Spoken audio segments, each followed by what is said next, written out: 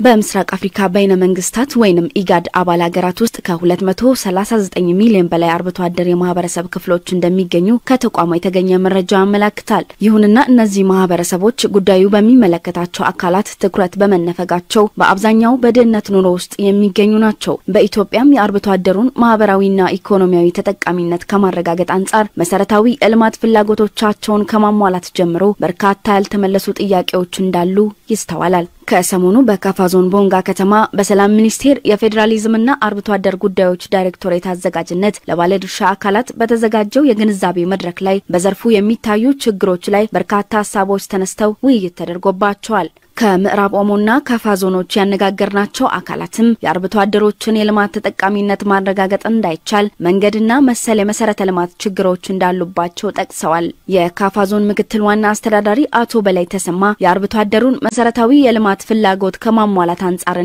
ወቅታዊ ተግባርን ተደራሽ ከማድረግ ረገድ የመንገድ አለመኖር ፈተና ሆኖ መዝለቁን ተናግረው ለችግሩ መፍትሄ ሊበጅለት ይገባልም ብለዋል። በተለያዩ ጊዜያቶች እኛ ለድጋፍ በምንወርድበት ጊዜ የምናያቸው ነገሮች እውነት ለመናገር እዚህ ገባ ተብሎ የሚታሰብ አይነት ነገር እንዳልሆነ የምናያቸው ነገሮች አሉ። አንዳንድ ጊዜ ከጉዳትም ጋር ተያይዞ ከረሃብም ጋር ተያይዞ ከአየር ሁኔታውም ጋር ተያይዞ የሚያስቀምጧቸው ነገሮች በጣም ያሳዝኑ ናቸው። ደቡብ ኦሞ ላይ ወረርሽኝ ገባ።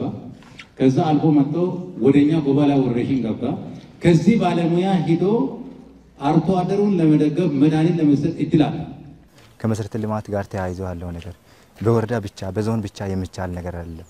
ይህ ነገር ታይቶ በፌዴራል ደረጃ ከፍተኛ ትኩረት ተደርጎ ልዩ ድጋፍ ተደርጎ እኛም ታች ያለው አደረጃጀት መልክ ተለያይቶ ወደ ተግባር የሚገቡበት ሁኔታ ቢመቻችና የምዕራብ ኦሞ ዞን ዋና አስተዳዳሪ አቶ መፓዞ ሳፕ እንደሚሉት በዞኑ በአብዛኞቹ ወረዳዎች ውስጥ አርብቶ አደሮች የሚገኙ ሲሆን በልማት መንደር የማሰባሰቡ ጅምር ተግባራት ቢኖሩም የአርብቶ አደሮችን የግንዛቤ ችግሮች ከመቅረፍ ረገድ የስነ ልቦና ስራዎችን በሰፊው መስራት ይጠይቃል ብለዋል። እነዚህ አርብቶ አደሮች እድሜ ልካቸው ከብት ጭራ የተከተሉ መኖር የለባቸውም። እነዚህ አርብቶ አደሮች እድሜ ልካቸው ስለ መሰረተ ልማት እያለቀሱ መኖር የለባቸውም።